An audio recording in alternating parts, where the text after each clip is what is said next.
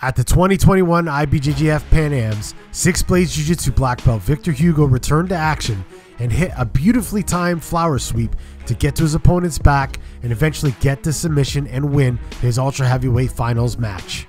This was a variation to the sweep that Xande made famous back in the day in his 2004 match with Marcelo Garcia, where he uses to score on Marcelo and win the Brasileiros.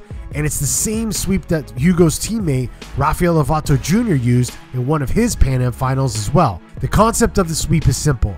While you have your opponent in your close guard, you essentially off balance them to one side while controlling their limbs to prevent them from posting to defend, but also elevating them up to help the momentum.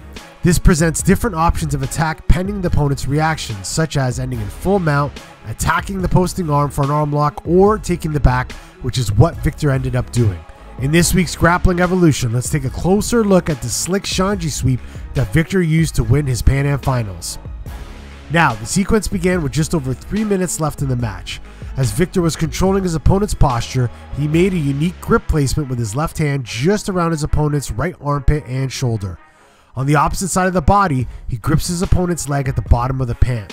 From here, Victor puts his left foot on his opponent's hip and at the same time uses his right leg to push his opponent to the left, off balancing him. He also at the same time uses his right hand to lift his opponent's left leg up to complete the sweep, leaving his opponent with two options get swept or post his free hand to break his fall. As Victor's opponent tried the latter, Victor releases his left hand grip and posts out on his elbow, then his hand. This allows him to raise his hips up to eventually get behind his opponent.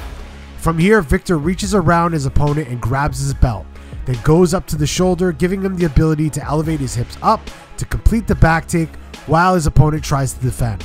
From here, Victor secures the hooks and is in the best position to finish the match, which he does with the classic rear naked choke. Let's watch it again. Close guard, sets his grips, off balances his opponents, posts up on his hand, reaches around to the belt, gets to the shoulder, takes the back where he gets the submission, and wins the competition. Victor Hugo brings that big man flow to each and every match, continuing to show his dominance, combining that timeless and modern jiu jitsu that has helped him win countless competitions.